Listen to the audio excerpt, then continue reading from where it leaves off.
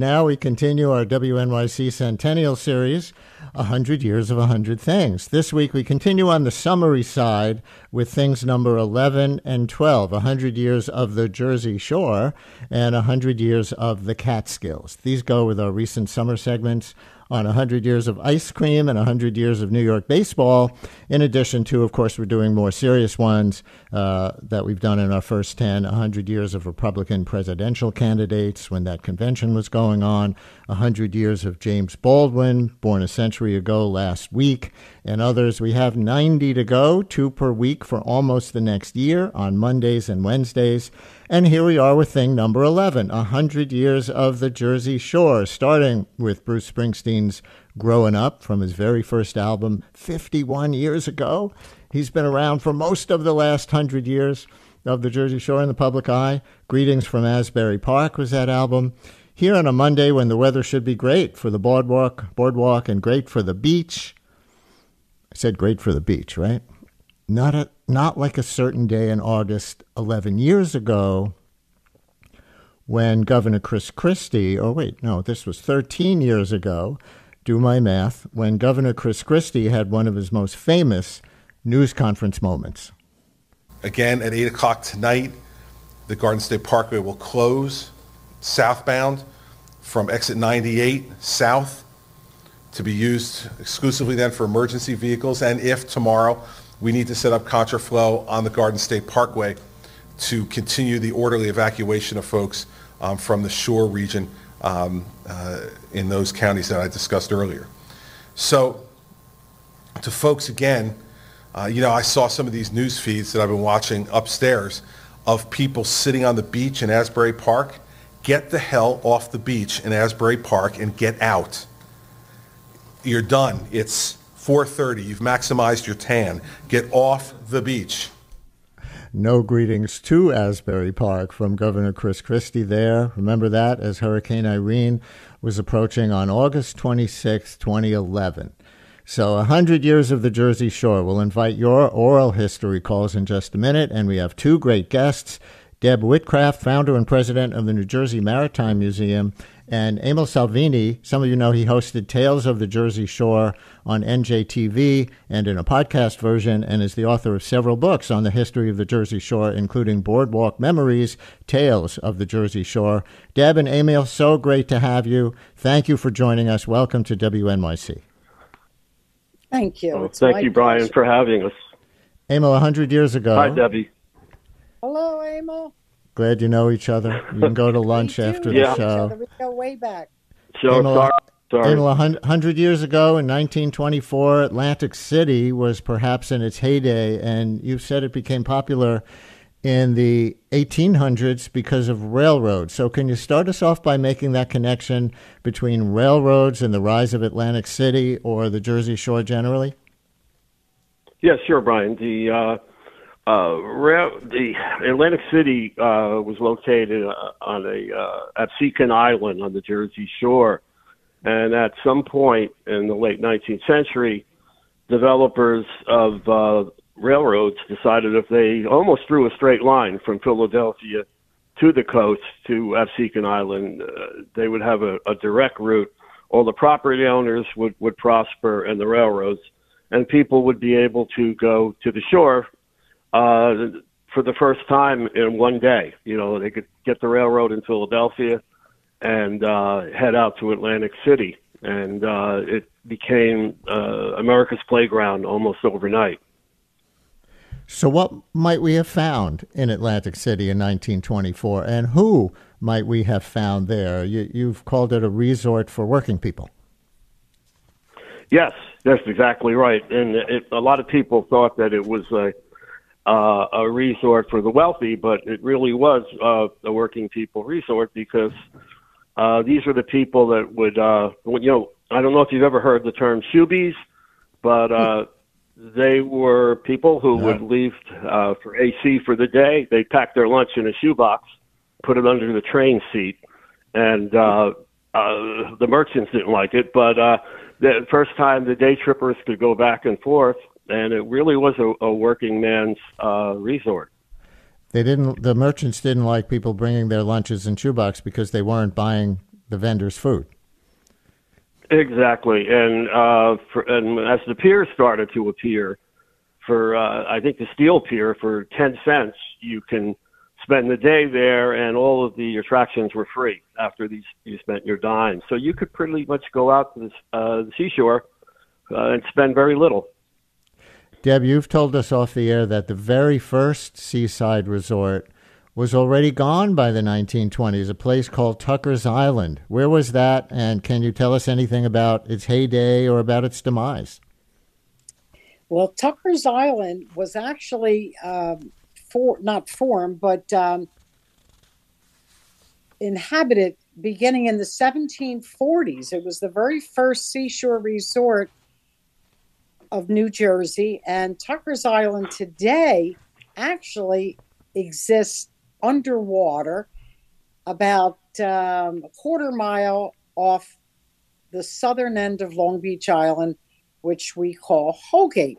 Tucker's Island in the 1700s was on the bay side of Holgate and was inhabited by about uh, 65 to 70 people. It had two hotels, uh, the St. Albans and the Columbia had a life saving station, a church, a schoolhouse, and um, it was it was a very popular resort. And uh, at one time, it was attached to Long Beach Island, but then it became an island in itself. And um, as I said, it now, due to erosion and the migration of billions of cubic yards of sand, the south end of Long Beach Island has shifted closer to the mainland, and Tucker's Island underwater is in about nine or 10 feet of water on the north side of Beach Haven Inlet.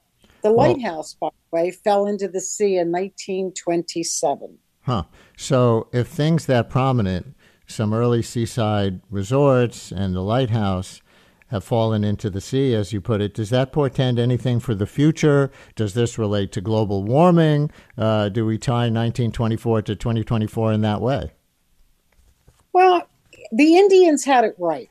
When the Indians used to come to these barrier islands, they came only to harvest the food, the sustenance that they needed, but they always retreated back to the mainland. We're not that smart apparently, because every new storm, whether it's the 44 hurricane, the 62 nor'easter, or Superstorm Sandy, after these storms, we just build bigger and higher, and it, we just haven't, it hasn't uh, come to our minds that barrier islands were never meant to be developed. They are hmm. meant to be a protective barrier between the sea and the mainland communities.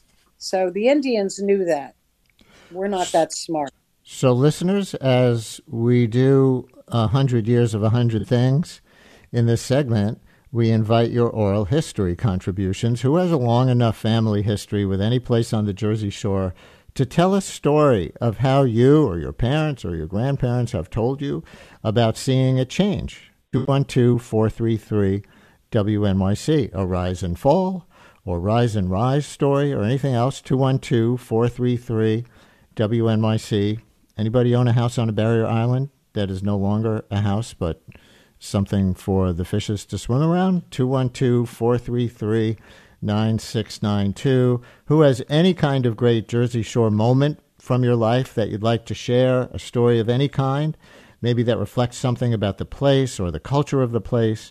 That you think would be an interesting minute of history on the radio. If you have an early Springsteen story, or do you love or hate the TV show Jersey Shore, or for that matter, any other Jersey Shore pop culture, or whatever, or maybe you were on the beach when Governor Christie told you to get the hell off before Hurricane Irene hit Asbury Park. it's your observations about Jersey Shore culture or how any shore community has changed, or just a great story. 212 433 WNYC here on our WNYC Centennial Series 100 Years of 100 Things. Thing number 11 100 Years of the Jersey Shore 212 433 WNYC.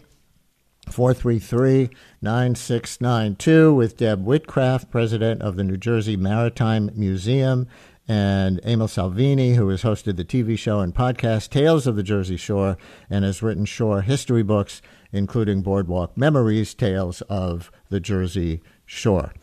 Emil, I see your Jersey Shore base is in Cape May and you started down the path of being a Jersey Shore historian because your family had a cottage there. Do you want to tell us any of your own relationship to Cape May or how that got you curious about the history? Oh yeah, uh, definitely, Brian. Uh, yeah, we we uh, purchased a cottage there for the family back in the '80s, uh, and uh, we was built in 1905, and uh, it got my interest up. Uh, my wife used to tease me whatever town we lived in. I ended up researching and writing a history about it. So I started looking into Cape May, which a lot of people don't realize the town is a, is a historic landmark, a national historic landmark with over 600 Victorian structures.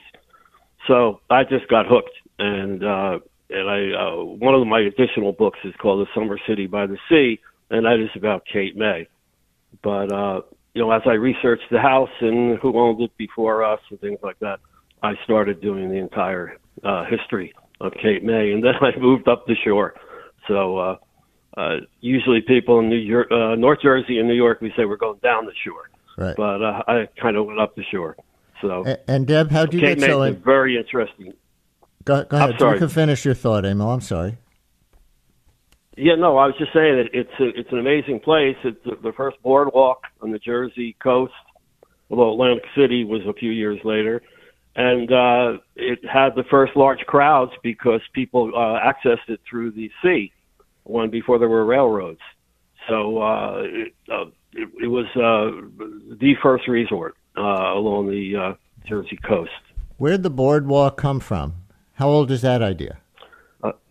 Oh well, that that goes back to uh, the uh, Atlantic City and Cape May uh, as the railroads got became popular and the Pullman cars were were plush and the hotels were getting uh, nicer. They uh, their big problem was sand. Uh, people were uh, you know sand was sticking to their shoes. Anybody who's experienced that knows what that's like. So they came up with the concept of a boardwalk. It literally was laying boards along the shoreline, and in the winter, moving those boards. It was portable up to higher ground. And uh, little by little, they kept building them. And uh, Atlantic City, right now, it's the fifth and final boardwalk that's there. Uh, and it's uh, five miles long. Uh, the shortest uh, boardwalk in New Jersey is uh, 200 feet. And uh, I like to say if you line them up end to end, they're uh, 32 miles of boardwalk. There you go. And so, Deb, uh, and again, I'll remind people Deb Whitcraft is founder and president of the New Jersey Maritime Museum. Where is the museum and what would people see there?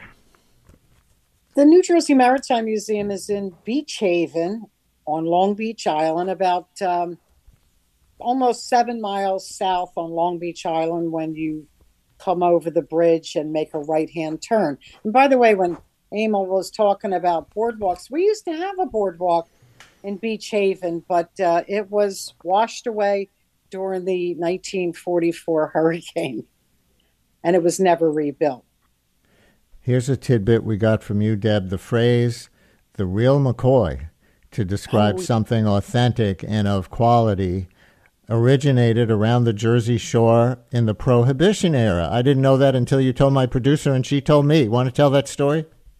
Oh, yeah. Bill McCoy was a, a very charismatic, good looking man who, uh, during the years of Prohibition, he was a Jersey rum runner.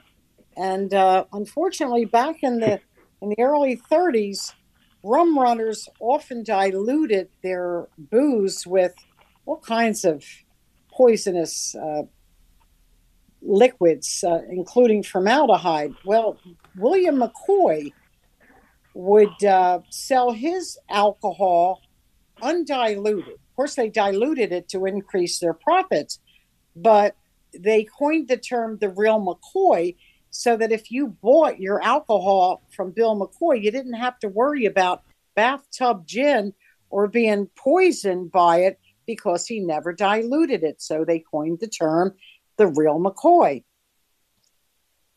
You were laughing there, Emil. You want to add something about the real McCoy or prohibition?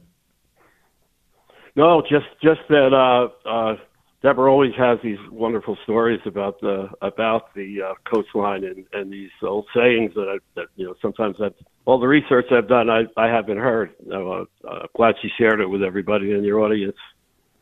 Jerry, now uh, of Manhattan, you're on WNYC. Hi, Jerry. Hi, Brian. I'm a long-time fan, first-time caller. I'm probably a little nervous, but I had an Italian family in New Jersey. Uh, we lived in Cliffside Park, and my dad will take the family every year from the time I was five years old to Belmar or to Asbury Park, and we would rent a little a bungalow college cottage down there for uh, either a week or two weeks and we'd go to Asbury Park for all the rides. We would go to the beach on Belmar, which has a very deep white sandy beach that's really beautiful compared to like places in Florida.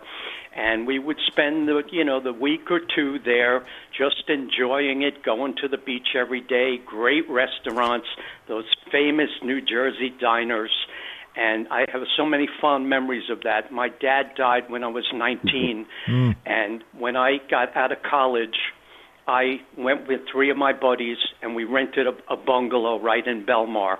And at that time, we drove to the Stone Pony because we heard Pete Fornatale had this new artist he liked called Bruce Springsteen. We went into the Stone Pony. Pete Fornatale was a was a DJ for people Band. who don't know. Go ahead. Yep. Yeah, we heard the E Street Band and Bruce. We sit, we stayed for two sets and couldn't believe their energy and their high vibes. And we wound up buying beers for Bruce and the guys. So he wasn't a teetotaler then.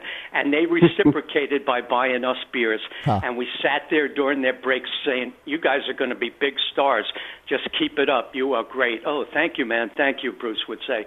He was like very shy when he wasn't singing but just brilliant memories I have of the Jersey Shore, Asbury. Uh, I told your producer that between Asbury and uh, Belmar is in a little town, and, and I'm sorry I can't remember it. I think I'm nervous, but they had a hotel where you could get a meal in the late '70s for like a dollar fifty and it could be like steak and mashed potatoes, you know, vegetables, cake and coffee, all for a dollar fifty. Uh, God, I, I wish I could remember the name. the dollar fifty steak. Jerry, thank you very much.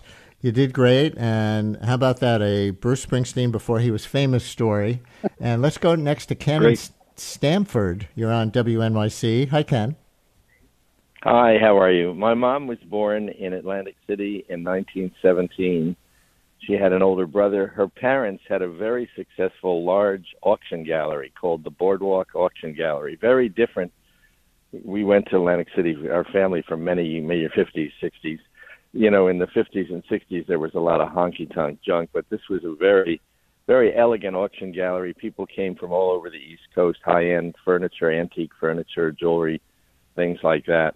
As it turns out, I guess that was in the 20s, and to be successful, then you had to have some contact with the man who was in Boardwalk Empire, Enoch Johnson. Apparently, I found out much later that they were they were friends. The family, her parents or her father especially, were friends with him. Now, Boardwalk Empire, although a wonderful, wonderful show and the depiction of Atlantic City, apparently Johnson was nowhere near as violent as as as the film makes out. But apparently, um, my my grandparents traveled in the summers, but they rented. They had a large house on Plaza Place near the bay, and they rented it to, to, to Nucky Johnson in the in the summers. Interestingly enough, my mom was very very beautiful, and she became, I think, as a teen, there was a contest, Miss Miss Atlantic City or something mm. like that. The Steel Pier had this contest.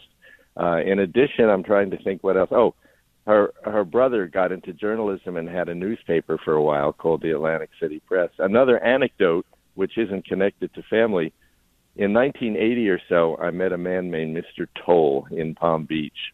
He and his partner, who had uh, run the Holiday Inn, As Atlantic City declined in the 50s and 60s, they bought up all the property on the boardwalk, and they were regarded. I think they were lawyers. They were regarded as morons. People said, "What's going on?" You know, they're they're decrepit uh, boarding houses, whatever. Well, they ended up in the 80s when I met this gentleman. He was in his 80s. He owned, he and his partner did not sell the land to the casinos. He owned all the land and rented it to the casinos. And that time, I think he was making hundreds of thousands of dollars a day. And I think they became the Toll Brothers family or the, the Toll Oh. Gallery, I think was their Huh. daughter. At any rate, just an interesting Toll Brothers anecdote. developers. They're great stories, Ken. Thank you very much. Uh, by the way, before it gets too far away from the previous caller, a listener texts that they think they know the name of the restaurant that the caller Jerry mentioned where they sold the dollar fifty steaks and he couldn't remember it. The caller thinks or the texter thinks the caller was talking about the Sampler Inn in Ocean Grove and writes that it burned down in the 90s. Emil, anything from, from that last caller spark anything for you as a Jersey Shore historian? Maybe the uh, historical accuracy of anything in Boardwalk Empire or anything else Ken said? Well, sure. Uh, uh, Enoch was uh, was uh, part of the political uh, empire with uh, Jersey City's Frank I am the law Hague. they were uh, they they really uh, uh, ruled Atlantic City for a time, and naturally Frank Jersey City. But uh, I did think of a great Belmar story of interest at the boardwalk. That fellow mentioned Belmar. Uh, I had done a show on the Belmar boardwalk, and the mayor was wonderful that he introduced me to the engineer for the boardwalk, and they had just finished completing it in Trex, which is uh, impregnated uh, plastic wood, so it'll last a hundred years. And the next year, I got a call from him, and he said, "You remember that beautiful boardwalk that you filmed on?" And I said, "Yes." He said, "It's gone." That was right after Sandy. He said the whole thing just washed into the ocean. And uh, I, I always, when I think of Belmar, I, I think of that story. It was he was brokenhearted. And Deb, you were talking about prohibition before and the rum runners, and I think Mark in Long Island City has a family story from that era. Mark, you're on WNYC. Thank you for calling in. Hi, Brian. Good morning. How are you? Yeah, so just a quick funny story. Uh, my great grandfather, he immigrated from what was then the Austro Hungarian Empire, and he was trained as a leather tanner. So he ended up uh, as a bootlegger for the Jewish mafia because he was allowed to still uh, manufacture alcohol. Uh, so we had a house on the Jersey Shore in West End, and there were uh, wild grapes growing in the backyard from when he had made the alcohol. That's a story. Deb, a person who at least heard about his great grandfather uh, being involved in that, and then the, the grapes for the illegal alcohol were still growing on the property. That's a that's a great story. Um, Deb, I see that one of the things that people can learn at muse- your museum is about shipwrecks off the Jersey Shore. You say there have been more than off any other coastal state. Really? And if so, why? Brian, the the coast of New Jersey, as you know, extends 127 miles between uh, Sandy Hook and Cape May, and the New Jersey has more shipwrecks off its coast than any other state in the entire country, including the Carolinas. And uh, it truly is the graveyard of the Atlantic. And of course, uh, there's a number of factors uh, that contribute to this number, but for over 200 years, the ports of New York and Philadelphia were two of the world's major centers of shipborne commerce. And, you know, back 100 years, 200 years ago, they didn't have the navigational aids that we have today, and just the bow like configuration of the coast and the constant change in, in shoaling. Um, precipitated so mm-hmm. many of these disasters, but we have mm-hmm. over 7,200 shipwrecks off the New Jersey coast. And, and um, thank God, because the divers bring us thousands of mm-hmm. artifacts from these shipwrecks that they donate so that members of the non diving community can see what's off the Jersey coast. And in fact, and a, a listener people, a listener texts, "My grandmother was working on the Asbury Park Boardwalk at an ice cream parlor in 1934 when the SS uh, Morro Castle washed up on the shore." And by the way, several more people texting to say that the restaurant that the earlier caller was trying to remember probably is the Sampler Inn in Ocean Grove. So a number of shout outs to that. All right. Wow. We are in our WNYC Centennial Series, 100 Years of 100 Things. Thing number 11 today, 100 Years of the Jersey Shore. On Wednesday, it'll be 100 Years of the Catskills as we continue on summer destinations in the series before getting back to political history segments next week when the Democratic Convention is taking place. We'll keep taking your calls in this segment with your Jersey Shore family stories or observations about change at any Jersey Shore location that you've seen or experienced over time or anything related. 212 433 WNYC call or text with our guests Deb Whitcraft, president of the New Jersey Maritime Museum, and Emil Salvini, who has hosted the TV show and podcast Tales of the Jersey Shore and has written Jersey Shore history books, including Boardwalk Memories, Tales of the Jersey Shore. We continue. As we continue in our WNYC Centennial Series, 100 Years of 100 Things, thing number 11, 100 Years of the Jersey Shore, with historians Deb Whitcraft and Emil Salvini and your oral history calls at 212 433 9692 and Catherine and Brick. You're on WNYC. Hi, Catherine. Hi, Brian. Thank you so much for taking my call. I apologize. You might hear my newborn daughter in the background making her radio debut. Yes. But yes, I'm a I'm a Bergen County native. I grew up going to Beach Haven. My family is from North Jersey and has a lot of history down the shore. But one of the reasons we wound up in Brick, or my parents did rather, is that when compared to a lot of the barrier islands and other shore towns, it's pretty climate resilient. Um, the flooding is not as bad here in extreme storms. That's, you know, depends on where you are, but it is overall a little bit more climate resilient and there's a lot of cool things coming here as well. Shout out to Icarus Brewing Company.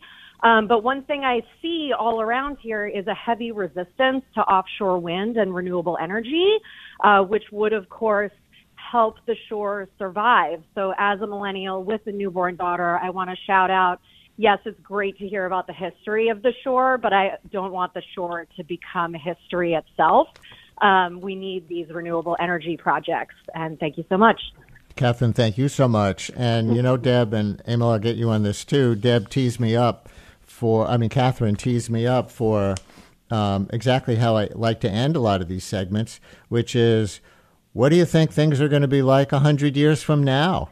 Deb, for you, who's traced 100 years of maritime uh, at the Jersey Shore in the Maritime Museum, including so many things that have been washed away.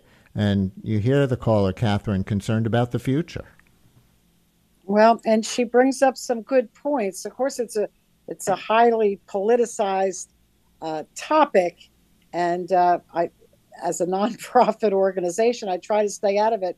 But I actually agree with her, and I think the future of Long Beach Island, especially the South End, Beach Haven, and Holgate, where I live, I think hundred years from now, it's not going to be here. The erosion and the shifting of all of these sands is speeding up uh, and um, I I actually think that that much of Long Beach Island hundred years from now will not be here at all. It'll be like Tucker's Island. Emil? Well, I could give you a quick example, Brian. Uh, right south of Cape May, there's I call it a ghost town, but there was a town there of uh, South Cape May, and that is all gone. It's underwater due to erosion and uh, every once in a while you'll see a railroad track or a foundation uh, appear, depending on if there was a storm or not. And I unfortunately see a lot of the, the Jersey Shore ending up as uh, South Cape May. Uh, it's uh, long gone since the 1940s. Huh. And you know, the caller talked about the uh, some of the nice things coming to where she is. Uh, but Deb, I think you mentioned something to us off the air uh, about your concern that the Jersey Shore, which we've talked about in the context of being a summer destination for working families is becoming like the Hampton South. How much are you seeing that? It's an understatement. It is truly the Hampton South. I've lived here all my life. I'm 69 years old, and the average middle class working family cannot afford to come to Long Beach Island and pay such exorbitant, outrageous rents. For what they get personally, if I didn't live here, I would never spend the kind of money some of these people are spending to have a week here on Long Beach Island. And I'm sorry to have to say that, but we've become a rich person's uh, island. And um, I've seen it for 69 years. And uh, although I love it here and will never leave except in a body bag, I, I can mm. see that we are the Hampton South. Emil, maybe different uh, neighborhoods or different areas of the shore for different incomes? Or you think it's all becoming Hampton yes, South? That, yeah, it, it really is. Uh, I mean, uh, giving Cape May as an example, uh, the homes there are, are ridiculously priced at this point. The the old Victorians, and I, they not only need a lot of work, Brian, but there's a, a historical commission down there which ensures that they keep their landmark status. So you cannot do anything to the outside of your home without going before the commission. Uh, inside, they don't have anything to do with, and they don't care what color you paint it, but you can't put up a fence or anything without going there. So it gets very expensive to live there on top of the, the entry price to, to even buy a home. And for the vacationers who aren't trying to buy? Uh, very, very expensive. Uh, we we never rented our cottage, but I'm constantly being uh, uh, put in touch with realtors that are saying, you know, do you realize how much you get a week for this? And uh, mm. yeah, I think it's getting very pricey for people that just want to stay down there because it's dis- of its distance. Brian, people stay down there for uh, a week or two weeks. It's it's not something you usually go down for the weekend.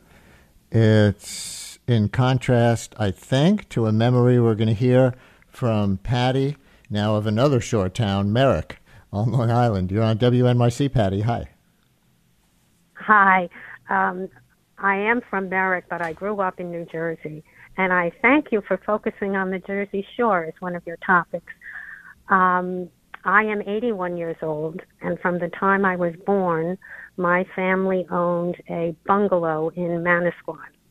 In fact, it was on one street and then it was moved down several blocks to the same street. So it was just sitting up on blocks. I'm a family of six children and both parents, and we had the most wonderful, wonderful memories of our time in Manasquan. It was a very, um, or mostly, or a lot of working class people. There were some larger homes, but ours was definitely a bungalow we could fit as many as 30 some people overnight when the whole crowd came.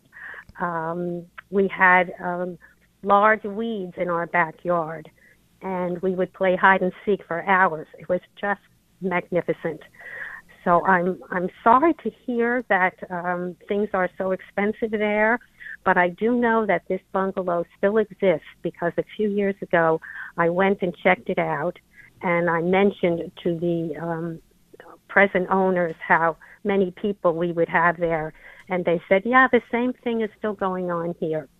So I wish everybody had such a magical place to spend time in the summer. Thank Wonderful. You. Thank you. Wonderful memories, wonderful story. Let me go right to Kim in Middletown, Jersey. You're on WNYC. Hi, Kim.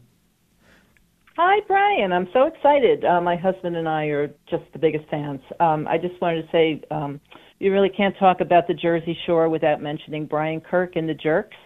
Um, they're a band that's been entertaining crowds for at least 30 years in Sea Bright and beyond. And he's an old friend of mine from high school. I'm just so happy. He's he's just he's a local celeb. Kim, Kim thank you. I'm sure people have lots of memories of his uh, performances. A- Emil, uh, uh, a Jersey Shore band not called Bruce Springsteen and the E Street Band. Uh, not one in in, in uh, particular, but uh, there there is a, uh, a, a bar called the Rusty Nail, which I love in, uh, in Cape May, and, and they've got great local music and musicians uh, every weekend. But I can't name really one in, in particular. You you got any pop culture, Deb? Um, that's you know not Bruce, and uh, I guess after that last caller, not Brian Kirk and the Jerks, or not Well- music for that matter. on Long Beach Island, we used to have the Joe Pop Shore Bar, and we had some some quite um, uh, well known uh, entertainers like Tiny Tim, and um, it was a it was a big deal. We had the Wharf Rats at Bay Village and Schooner's Wharf, and um, sadly, Schooner's Wharf that attracts so many tourists and, and visitors, it's on the market now for I think seven point two million dollars. Wow. So it'll probably end up to be another condominium project. But at one time, we had some very uh, some some excellent entertainers who became quite famous. And there Long we leave it. A hundred years of a 100 mm. things. Thing number eleven. A hundred years of the Jersey Shore with Deb Whitcraft, Whitcraft, founder and president of the New Jersey Maritime Museum, and Emil Salvini, who hosted Tales of the Jersey Shore on NJTV and in the podcast version,